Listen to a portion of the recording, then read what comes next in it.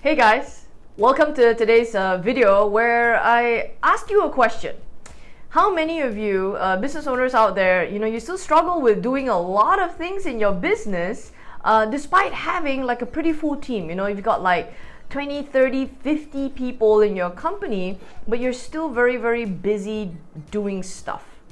And this is where I'd really like to share this with you.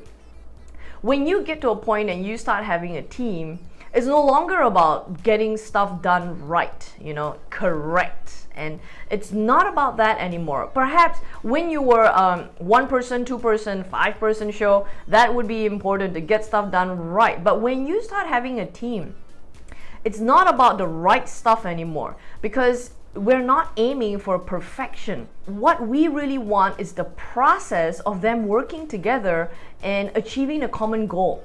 So it's not about perfection, but it's all about the process. This video, I'm going to share with you what are so many benefits that we can have when the team works together and does the stuff. You see, face it guys and and and this is something that i really want to share with you because business owners out there you know some of us have been in business for 10 years 20 years and you know very frankly when we get stu- when we start doing stuff you know it takes us like what 30 minutes to do something, you know, to get a task done or write an email, it takes us like what, let's say 30 minutes. For what? Our team may take what, three days or even three weeks to be able to achieve. So sometimes because we want to get stuff done right and we want to get stuff done fast, you know, we do it ourselves, but then, ah, you know, that leaves us with a lot of things to do, you know, and, and business owners out there, we do have a lot of things to do, and sometimes choosing what we do is so difficult but hey, could your team really help you out? So here I have some pointers for you, all right? So listen up. When they do the work, there are so many benefits. Number one, they take a whole lot more ownership when they start cracking at your SOPs, or your systems, your processes, they take a whole lot more ownership when they are actually formulating the systems in their company. You know, and a lot of employees take a lot of pride in that. And then when things go wrong or when things are not right, they go, oh my gosh, I gotta fix this stuff, and they go right ahead and they fix it without having you to be stepping in and saying, "Hey, why is this not working? Why is that not working?" Ah, and then you get so frustrated. Ah. And you know, actually, employees love to do that. They love to be able to contribute where they can. Number two, and this is this is related to point one, they get to think about it. You know, when you get your team working together, they get to think. They get to come up, they get to brainstorm, they get to create new ideas, you know, versus just, hmm, this is what my boss told me, so I'm just gonna do it. You know, and that comes back down to ownership as well because if my boss told me to do it, I'm just gonna do it whether it's right or wrong. Well, he told me to do it she said so. You know and so you you get reactions like that because they don't get to think. There's no thought process in it. So that's number two Number three, they actually get to work together. It's actual teamwork versus, I call it boss work. You know, when they go to work, they're just waiting for the boss to say, okay, today do this, number one, tomorrow do that, number two. And so they're waiting for a push and play. But when they actually work together, that's called teamwork. And the company can work together and possibly at some point without you in it. And that's when you get a business that works without you.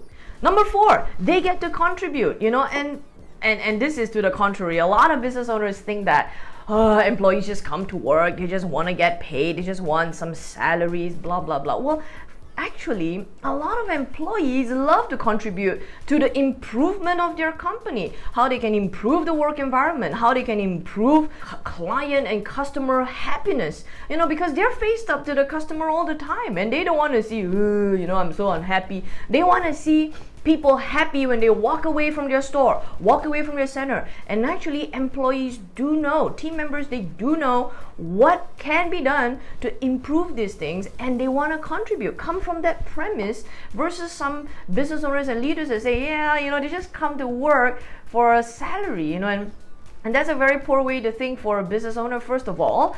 But you know, we're undermining our team members' abilities. And number five, this is a very important one. When they start working together, we start hearing how they think. they start thinking out loud. You say, oh, can we try this? Can we try that? You know, as a business owner, when they start working together, you get to hear the competencies, the capabilities of our team. And you know, more importantly is that when we start hearing these things, it helps us to build that trust, that confidence that we have in them. And of course, the confidence they have back in us, you know, trust, of course, is built both ways, but that confidence starts to build up. You know, it starts to build up and say, huh, actually my my guys really do know what to do. Wow, this is awesome. But you just gotta be able to let go first. So there you have it, guys. These are the top five very, very important uh, uh, benefits. You know, when you start getting your team working together, this is where all the magic starts to happen. And if, and if you have, you know, a company with 20 or 30 people and then you're, you're, you're paying salaries every month and you say, hey, you know, why am I still so busy? Well, this is it because you just got to be able to let go. Remember, guys, you know, it's really uh, not about perfection. It's not about perfection. It's not about getting it right. It's not about getting it accurate. It's really about the process. Trust is a process, and Rome was not built in one day. Rome was not built in one night. So, therefore, work the process, trust the process, and build that trust. You know, guys, what I may share with you is also this. You may not have to trust such a big thing to your team, you know, and go, oh my gosh, I'm gonna trust this million dollar event to them. And all right, go make it happen. All right, make some magic, guys. Like, woohoo! You know, start with something small. You know, start with getting them to build on a feedback form. You know, start putting together some FAQs. Guys, you know, we've been getting a lot of complaints from customers.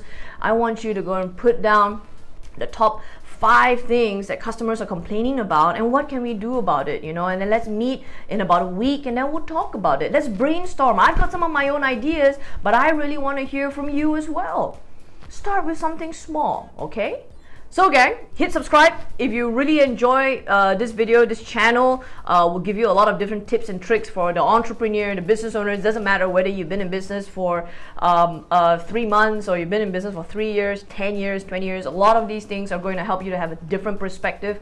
Um, I launch new tips and tricks every single week uh, and also please share. Uh, please share if you find that this video is going to help someone, if it's helped you, uh, please share this video out. Um, but stay tuned because I'm going to be able to share more stuff. Because, guys, um, have a great business and have a great life because being in business is all about having a better life. Take care, and I'll see you next week.